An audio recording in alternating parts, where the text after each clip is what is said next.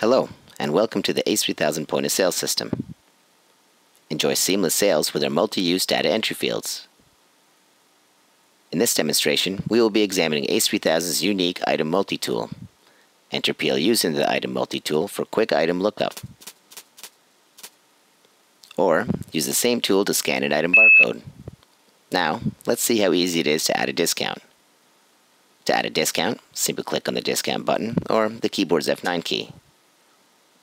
Then select from the preset discount amounts or create a custom discount on the fly. For this demonstration, we will use the 10% preset button.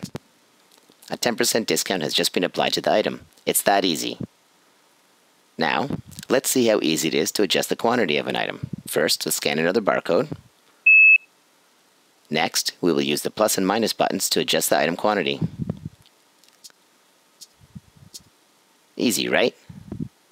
Another method of adjusting item quantity is to use the quantity button. Let's scan another barcode. Next, simply click on the quantity button, then enter the desired quantity. Let's enter 5. The quantity is now adjusted to 5. Couldn't be easier. Now, let's use the same tool to search the database for any items that have the word knife in their description. Four items have been found containing the word knife. Let's select the paring knife. The paring knife has just been added.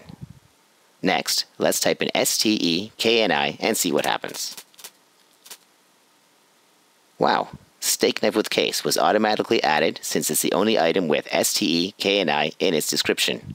Last, let's use the general search button to select an item. Let's select the omelet pan. Easy, right? I think it's time to tender this sale. To do this, simply click on the tender button. The sale is $279.69. Let's enter $300 cash.